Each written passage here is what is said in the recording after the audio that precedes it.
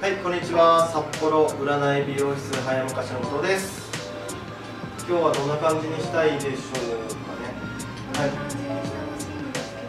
あ、はい、大丈夫。松岡真優ちゃん。松岡真優さん。はい。はい。あーちょっとこれ、はいはい、ではやっていきます。で、今日かけるパーマはこんな感じのスタイルにするんですけど、結構バックがちょっと短いのと、そのウェーブですね、ウェーブのスタイルになります。で、前髪はちょっと薄めですが、もうちょっと厚めにしたいと思いますね。ちょっと前下がりではないんですけど、前下がり気味の感じかなと思います。まっすぐぐらいですかね。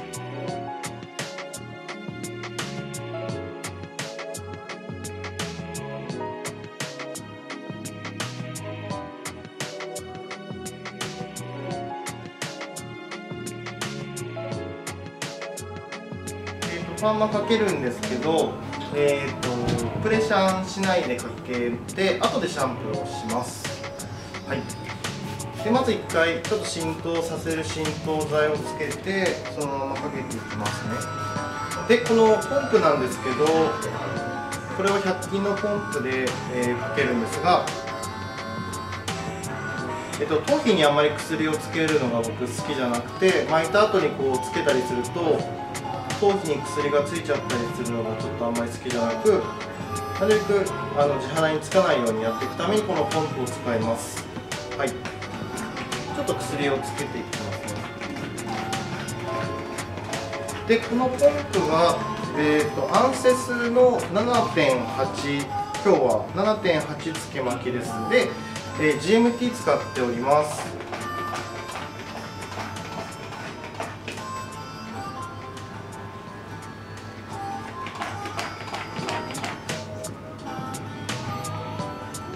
まあちょっと彼女の髪はシステアミンとか必要なのかなって感じもするんですけどまあちょっとこの GMT と塩グリセリンの方でかけていってみたいと思いますね。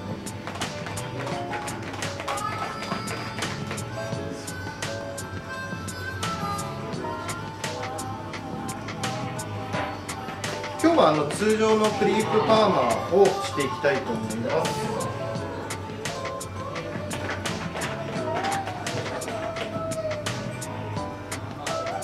でこのようにパーマかけるところにポンプをつけていって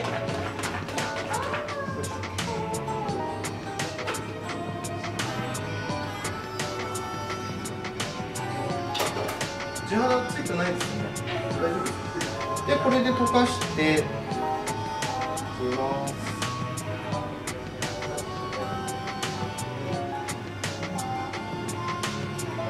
で、えっと、軟化はこの状態からもう進んでますので、えーまあ、スピードは早めに巻いた方がいいと思います。で、えっと、ネープから巻いていくんですけど結構キラ巻き波ウェーブみたいなスタイルなので、えーちょっとネープから通常に横で巻いていきます。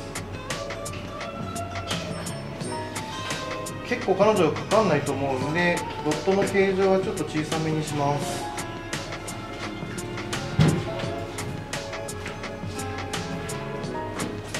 結構首細いので、えー、と半分で左右1個ずつでいけるかなと思うので、えー、とイヤーツイヤーのこの延長線上のネープのところを取って、えー毛先巻きですね。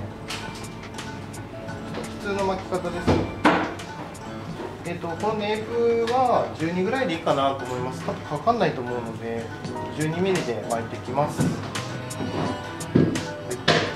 い、ここも 12mm で巻きます。大体ワイニング10分以内で巻いてあげないと結構かかりが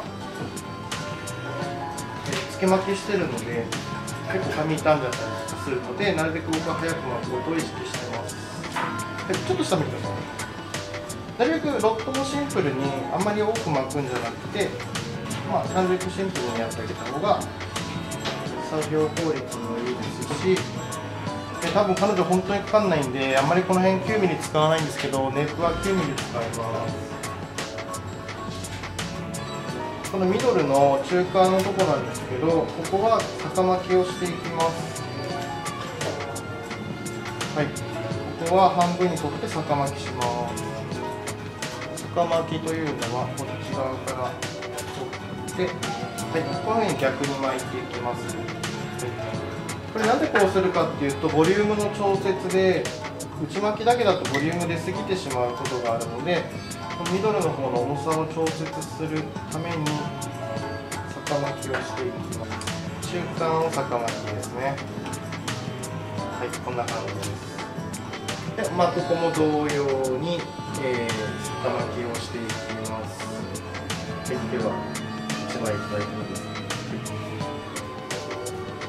この時に薬ちゃんとついてるか確認してこの後あの薬つけないのでであの右側かけるときこの辺かけるときは右側の方ってどうしても日本人の骨格上の関係で弱くなる可能性があるのでちょっと右に体をオーバーダイレクションさせた状態で巻いた方が僕はいいかなと思います。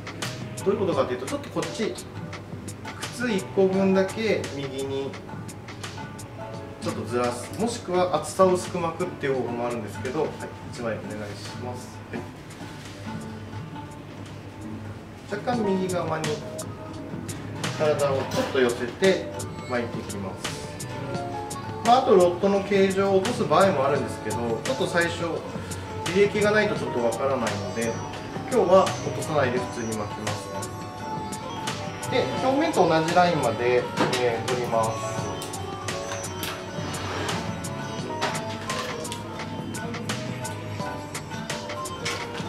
で、えっと、薬剤ついてないとかかんないので、ここでちょっともう一回確認してやっていきますね。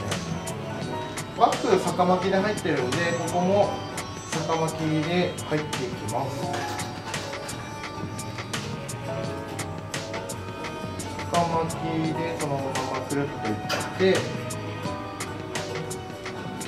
で、今度、次、あと2つは内巻きに入っていきます。うまいですね。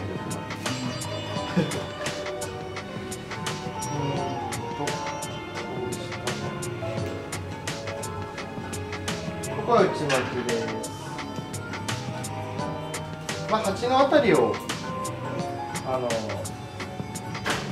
外羽にしてる感じですかね。で、ここも薬がちゃんとついてるか確認して、ここは逆巻き。タイミングがめちゃくちゃいいですここは、えー、と先ほどと一緒で靴1個分だけ前にオーバーダイレクションをさせて巻いた方が僕はいいかなと思います。右側が結構緩くなるのではい。こんな感じですね。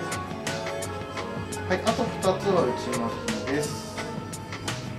これもちょっと前にオーバーダイレクションさせて巻いていきますね。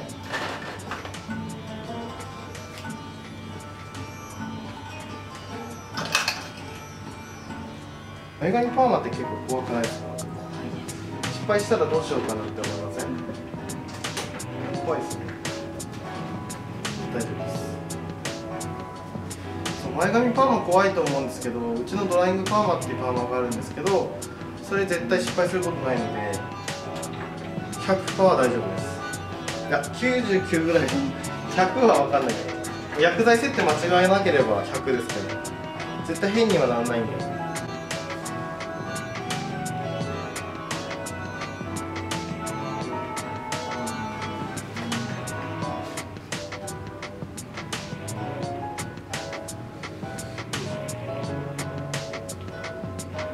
はい、ここからは、えー、と中間巻きフォワード。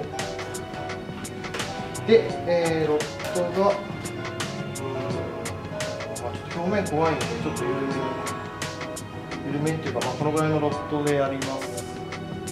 はい。まあ、これでもちょっと強いかもしれないんですけど、